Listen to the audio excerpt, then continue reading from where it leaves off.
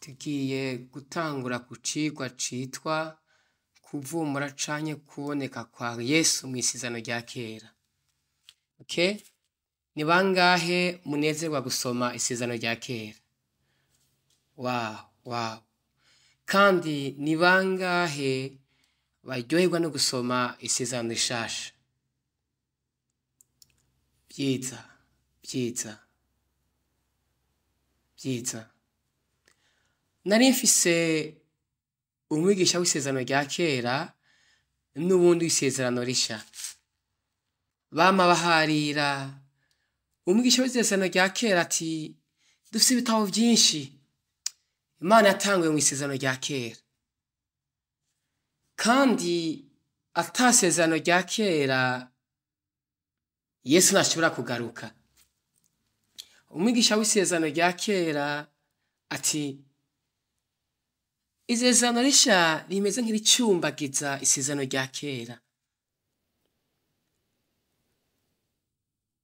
wa mwigisha w'isezerano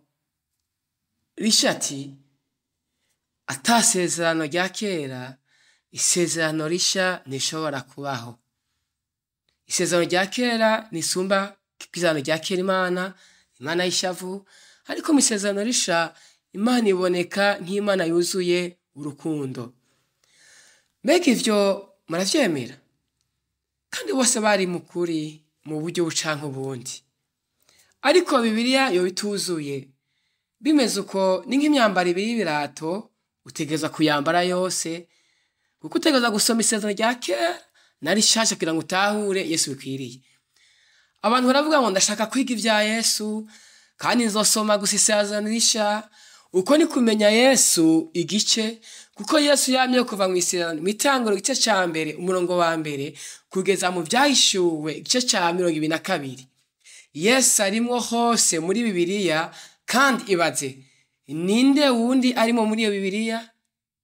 wewe urimo muri iyi bibiliya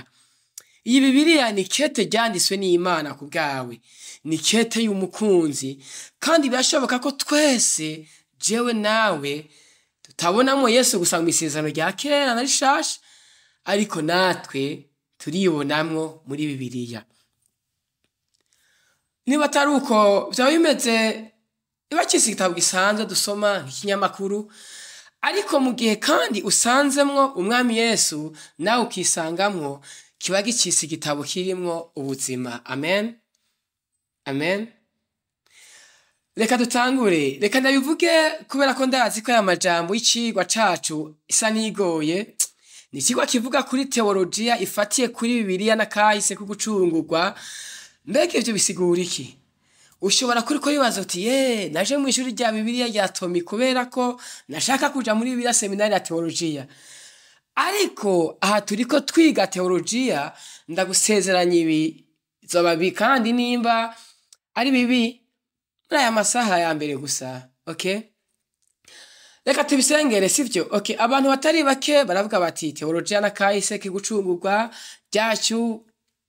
ikineye gutanga intangamarara kuko abantu bita teologiya ni kugira ngo utahure ibyo muri ko mwiga kandi uri kurasoma eh, ngibi bimwe mu bitabo urakoresheje murafise ibitari bike mu byigwa byanyu ariko kandi mushobora gukurikirana hano kandi ibitabo ni birebire binini bigoye gutahura ariko nimba ibitabo bihambaye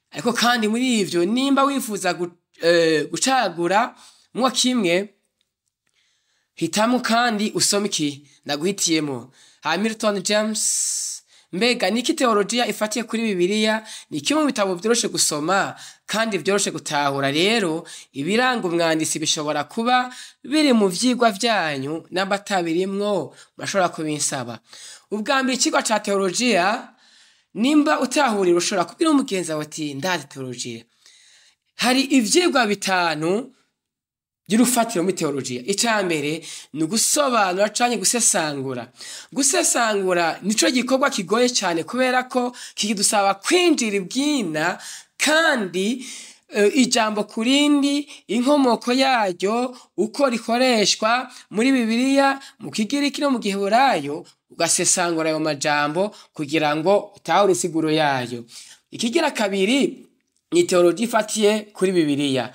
kandi iki ni cyo kigwa cyiza tugiye kwibanda ko cyane muri iyi minsi tuzombara ngaha nzobere ku turero tumwe tumwe twingene wo kwiga teologiya ifatiye kuri bibiliya toji ifatiye kuri bibiliya rero itwigisha ingene bibiliya yose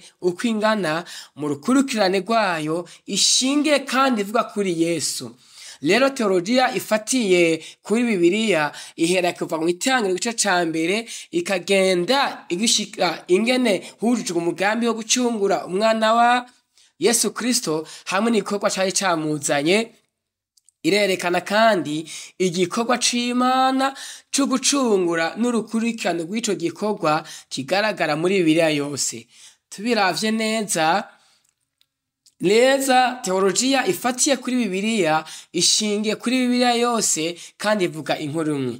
iyi teolojiya ifatiye kuri bibiliya irerekana ubumwe buri hagati y'isezerano rya kera n'isezerano rishya ingene amasezerano yose yuzuzanya kandi yose agarura ku muntu umwe ari we yesu kirisito hanyuma ikigira gatatu ni teolojiya ifatiye kuri kahise teologiya ifatiye kuri kahise ishingira inyigisho zayo na cyane cyane kuri kahise n'ingaruka zayo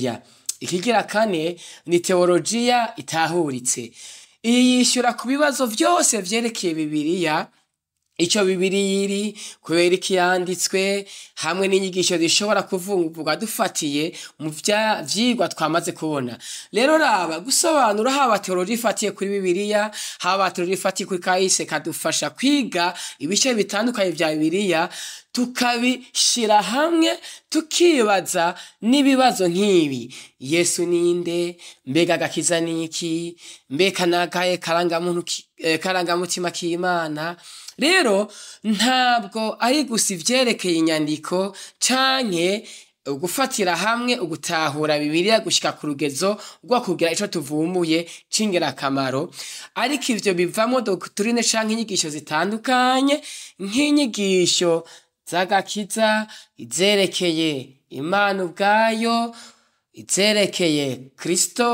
cyangwa kirisitoroji n'izindi n'izindi ibi rero ni nkenerwa mu ishengero no muri teolojiya ariko ku bwanjye ndashima cyane teolojiya y'ukuri kubera ko idufasha gutahura buri kintu cyose ugutahura gukwiye ni ukumenya icyo imana iri n'icyo imana itubwira biciye mu ijambo ryayo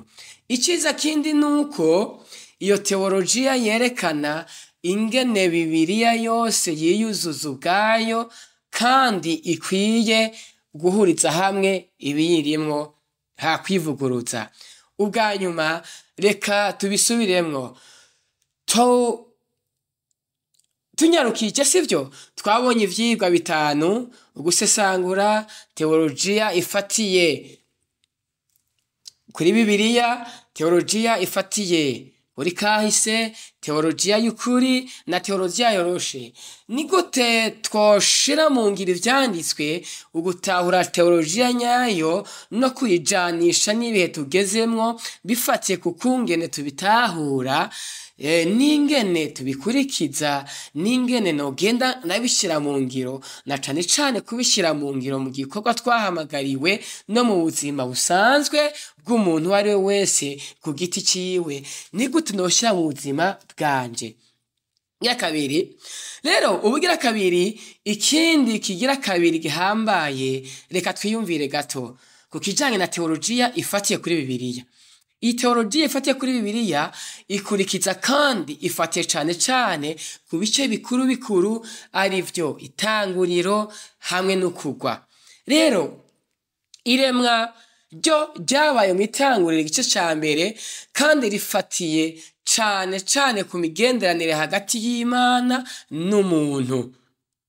mu itanguriro igice cya kabiri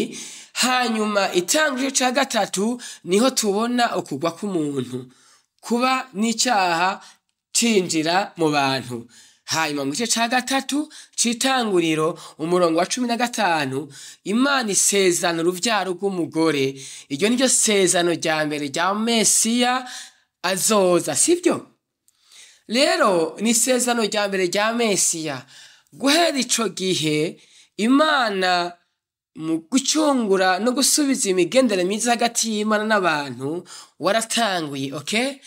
kandi iyizwa ry'uwo mugambi rizososerwa mu byahishuwe yohana ngiyi imbono nyamukuru ya biriya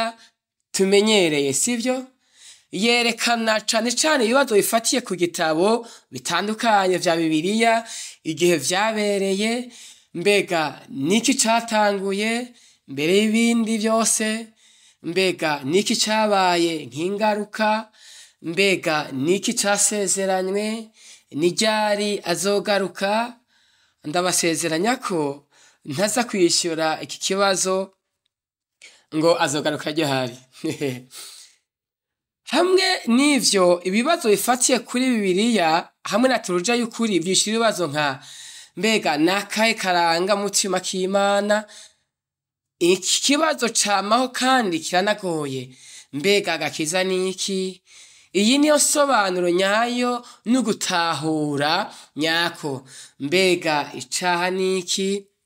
ariko teolojiya ifatiye kuri bibiliya irabaza kandi ikishyura ibibazo bifatiye kuri kahise ka bibiliya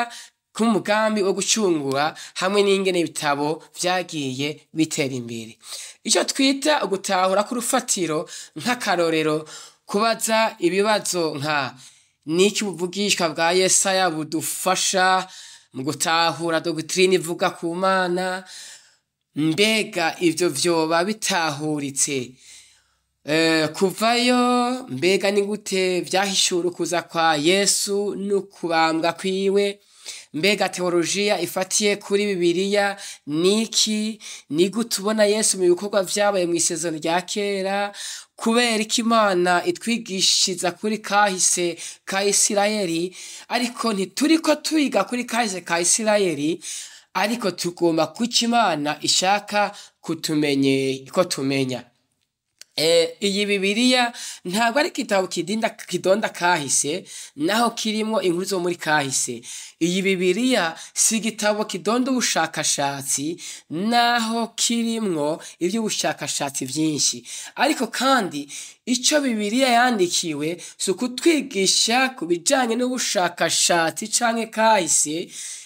iki ntabwo ari igitabo cy'amateka iki ni igitabo cy'agakiza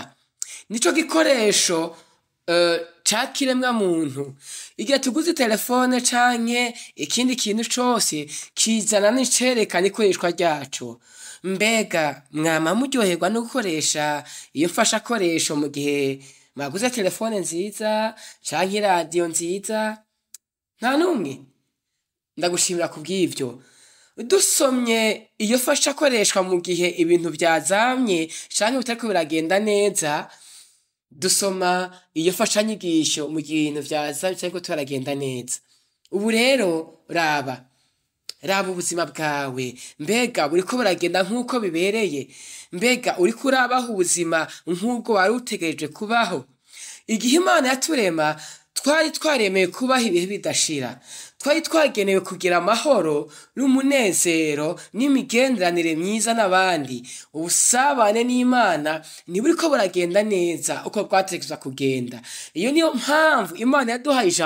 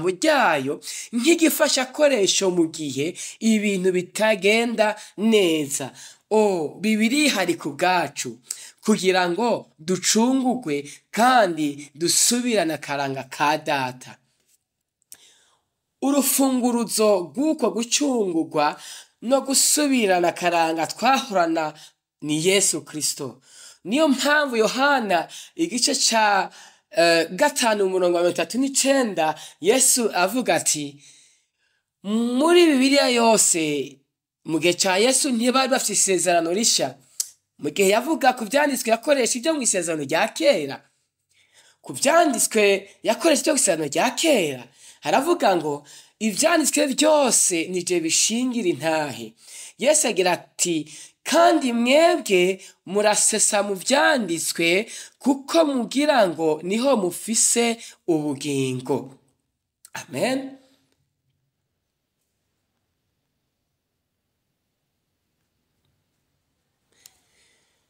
ariko mbe cyo mutazi byose bishingira intahe rero teolojiya ifatiye kuri bibiliya igerageza kuraba ku mpande zose haba ku isezerano rya kera hamwe na rishasha kandi ikerekana ingene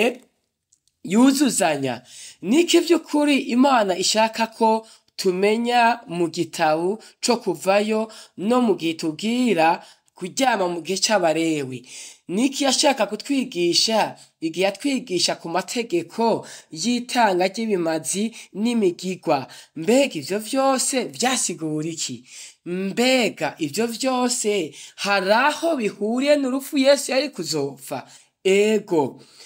ngivyo bimwe mu bibazo abantu bashobora kwibaza kandi ibyo bibazo biratwerekeza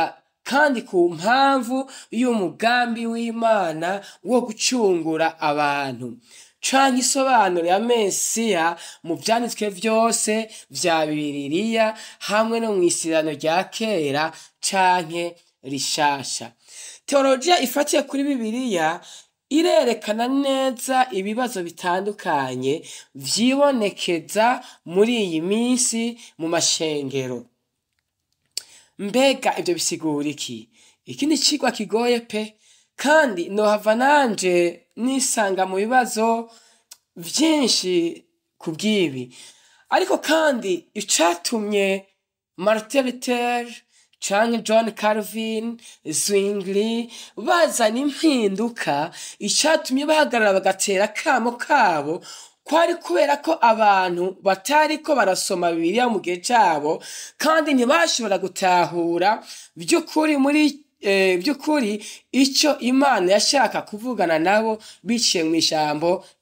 ryayo abakristo bategereza gusa barongoze ko babasomera canke bakiyumvira bivyo ivuga bibiriya murazi mpamvu batasoma nuko atayo yari ihari ariko imana ishimwe ku bw'iyi telefone abantu bose urashobora kuyisomera umuntu wese afite telefone ubu arashobora kuyisoma mbega nabo biriya ntabarafise mu myaka bibiliya zirasohorwa ku bwinshi imana ishimwe ku bw'ibyo umuntu wese afite telefone arashobora kuronka bibiliya ubu si ikibazo voltaire umwanditsi w'umufaransa yahakanye kubaho kw'imana yigaze kuvuga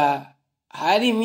igihe zibiriya zizohagarikwa gusohorwa mu mazu y'ibitabo zizimangane kandi zobe zitagisoma inyuma y'imyaka ijana yarapfuye ariko bibiriya yo irabandanya muzi byabaye ku nzu yiwe inzu yiwe yahindutse iyandikiro n'isohorero rya bibiriya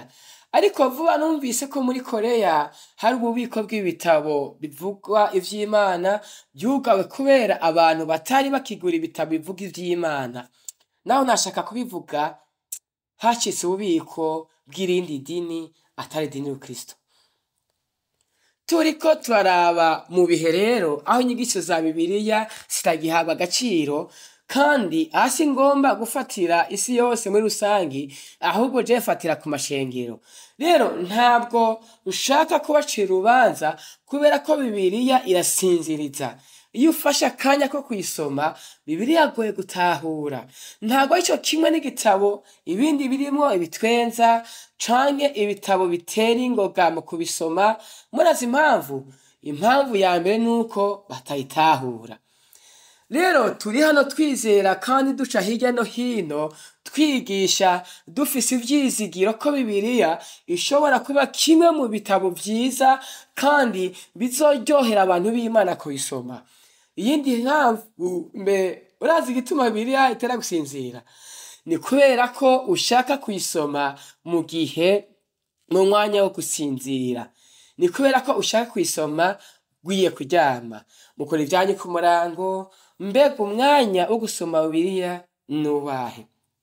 imyaka turimo abantu bagerageza kubaho ubuzima bworoshe kandi n'abakristo nabo nyene nuko mu bukristo bwabo bagerageza korosha ibintu hakaba ivy'impemu canke ivyo guhimbaza no gutazira imana ariko mu gitabo ca yosaya cane umurongo wa gatandatu baravuga ngo abantu banje bataye ubwenge nuko nanje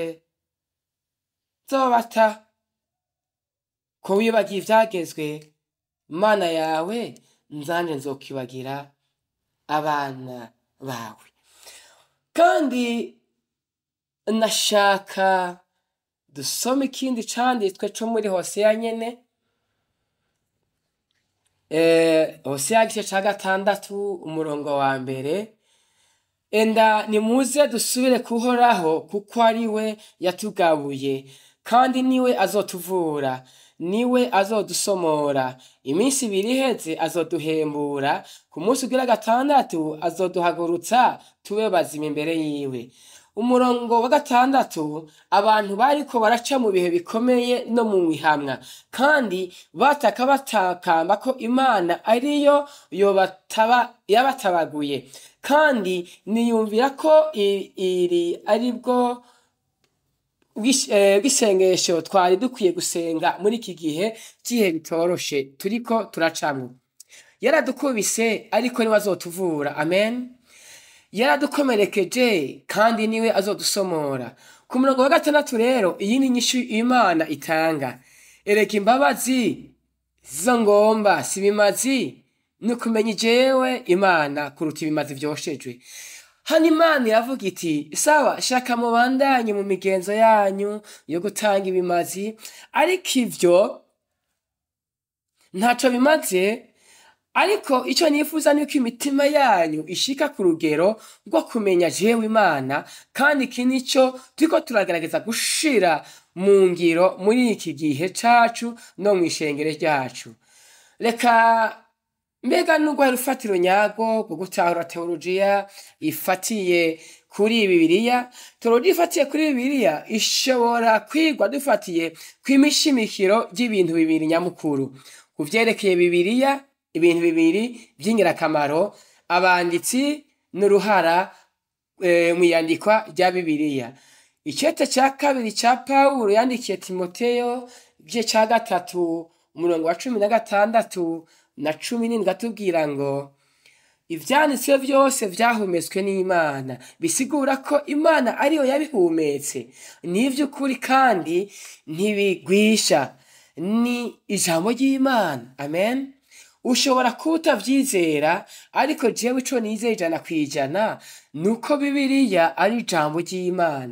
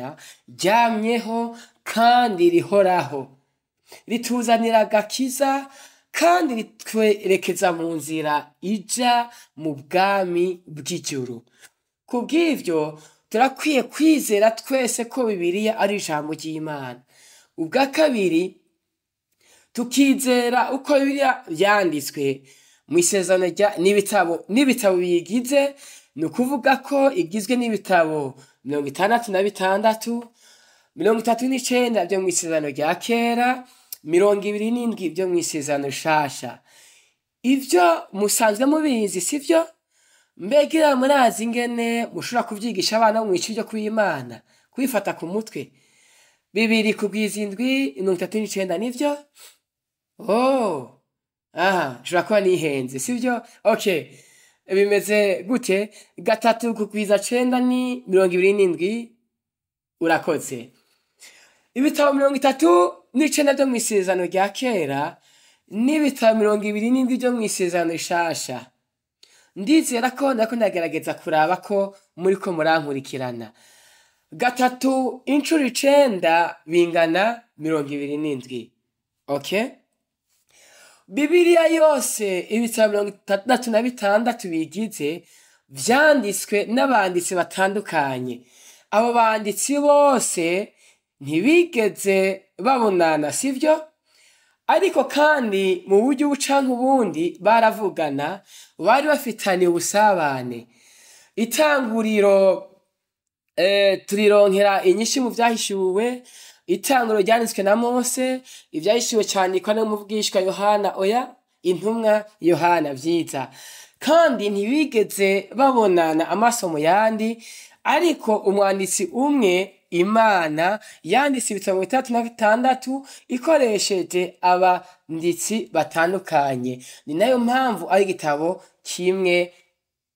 okay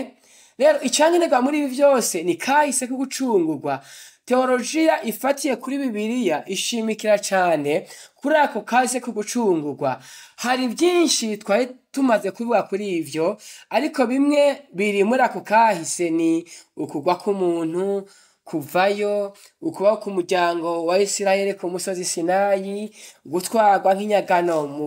buroni ukuza kwa mesiya ubu naho dutegereje kugaruka kwiwe ibyo ni bimwe mu byaranze kahise muri bibiliya ntidushobora gutahura mu buryo bwimbitse ibitabo byose bigize bibiliya mu gihe tutazi impamvu nyamukuru yatumye bibiliya yandikwa na cane cane umugambi w'imana